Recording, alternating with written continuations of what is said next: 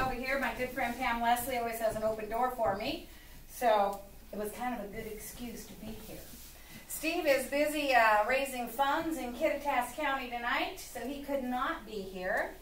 So you get me. And I'm excited I get more than three minutes.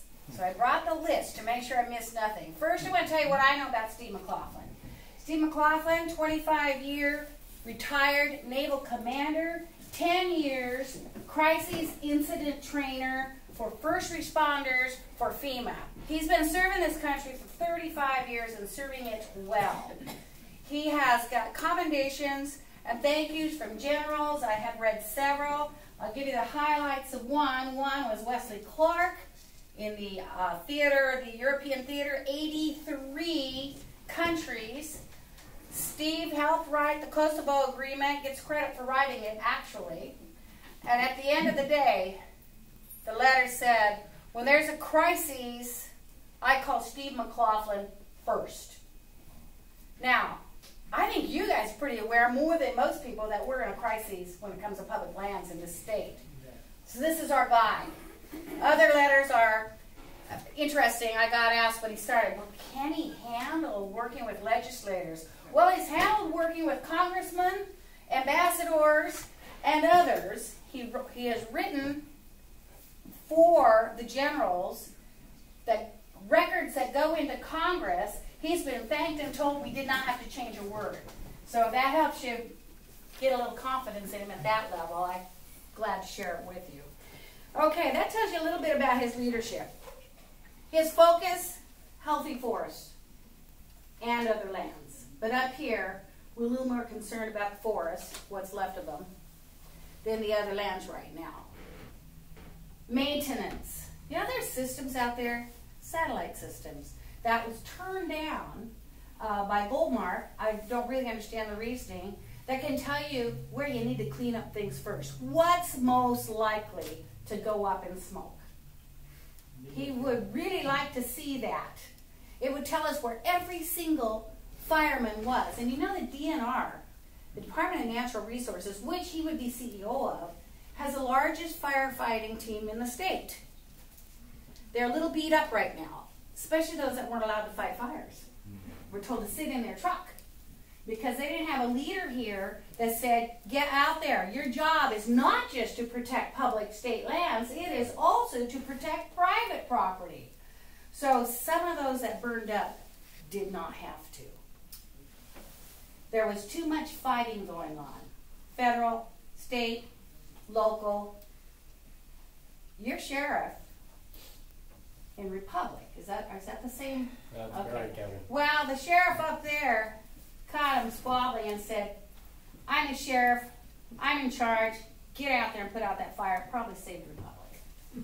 so it'd be nice to have that in a public lands commissioner where the squabbling didn't happen to begin with. Trust revenues. Okay, it's a mandate in the state constitution to use the land to produce revenues for education. Imagine that. We had the construction money for education, that might help a little with that McCleary thing since they're going to end up demanding more classrooms, right? So that could be pretty helpful. Could help not have to have us passing levies to build extra space. It would be very helpful. So he is determined to try to double the income that's there. Is that doable? Nobody really knows for sure, but that would be his goal, is to double that income. The goal of his opponent is to stop that archaic system. And she is on the record in writing, 46 legislative district Democrat survey as saying it's an archaic system and she thinks it'd be better to raise the B&O taxes and maybe capital gains. Let me tell you right now, that capital gains thing gets in position, that state income tax they've been wanting, it's all set up and ready to go. Beware of the push for that. And the last thing really is the firefighting. You know, the DNR, these employees, 60% are very unhappy. They don't get to do their job. They are, there's a lack of organization. There's no growth opportunity. In fact, 10 advisors are appointed to help the land commissioner. Steve's never run for office in his life. And what he says is, I've had so much advice, I can't stand any more advice. He's never had so much advice in his life. he says that's 10 people he doesn't need that each make $100,000 a year. He does not, he wants people like you guys to be the advisors. He wants people within the system to be advisors. And he wants to create opportunity for these employees for growth within so that they're trained from the bottom, growth goes up, in fact, in the military, that's called they're called Mustangs when they make it up. So they'll be DNR Mustangs, is what they will be, and they will have the opportunity to be head of parts of it, whatever that looks like. I really don't know what the absolute structure is, but I know right now it's top down and it's appointed.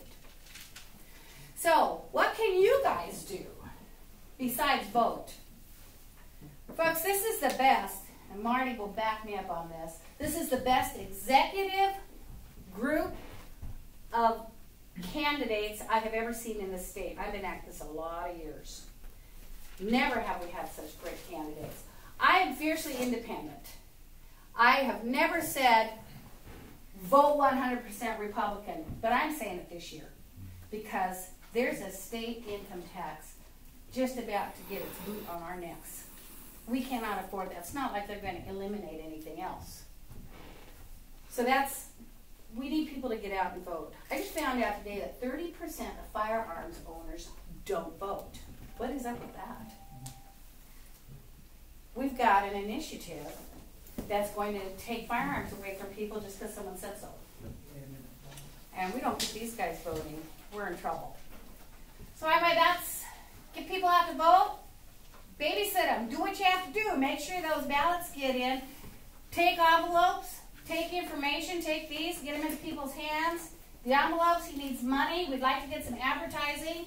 We are a short, short funded campaign because he'd never run before. We didn't start until the day of the convention. So we're running behind in money all the time, and we have been very careful with it.